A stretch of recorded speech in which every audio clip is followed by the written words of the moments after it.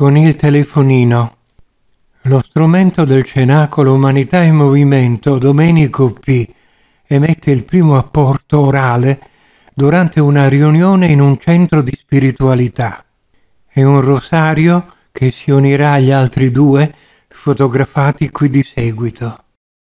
I tre rosari con accanto il telefonino che è servito a riprenderli appena lo strumento ha dato i primi segni della trance. I rosari, su indicazione della guida fisica Enzo M., sono stati donati a persone diverse non presenti nel momento della materializzazione. Le persone non presenti erano quattro.